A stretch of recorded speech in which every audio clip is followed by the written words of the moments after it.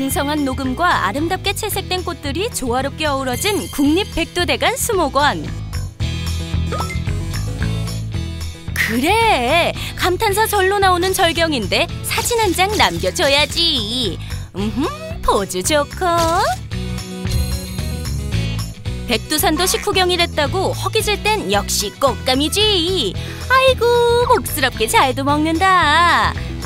수호랑 호돌이 여기 보세요.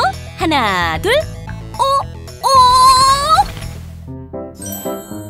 전에 자연경관을 즐기며 즐거운 한때를 보내는 수호랑과 호돌이. 그 꽃 이름?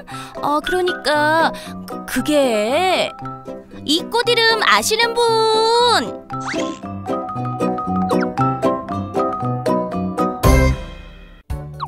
국립 백두대간 수목원에는 남녀노소 누구나 쉽고 재미있게 숲을 즐길 수 있도록 도와주는 숲 해설가가 있다.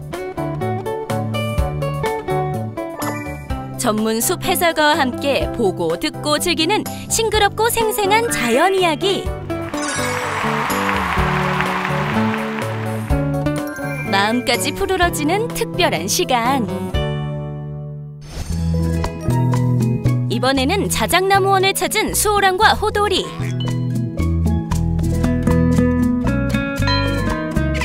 수호랑 네가 참아. 호돌이 쟤 실은 88학번이래. 숨 쉬며 걷는 것만으로도 건강해질 것 같은 자작나무원을 지나 만 가지 질병을 치료한다는 만병초. 그래서 그런가? 호랑이 기운이 솟아난다.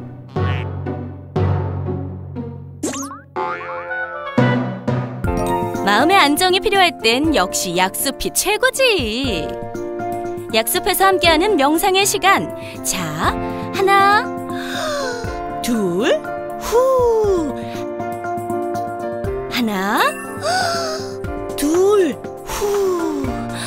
어떻게 다들 마음의 평화를 찾으셨나?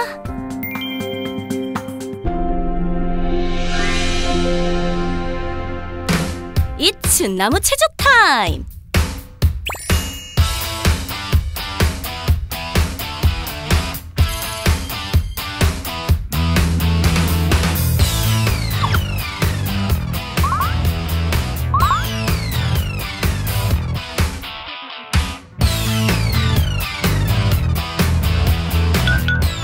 얘들아, 워, 워. 수호랑 호돌이도 홀딱 반했다.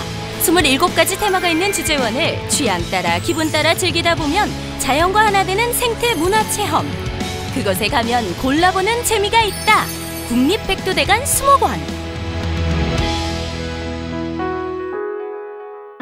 호돌아, 미안해. 나도 어쩔 수 없는 호랑이인가 봐. 하루라도 좋으니 여기서 살고 싶어. 난 이미 전입신고 했는데. 어?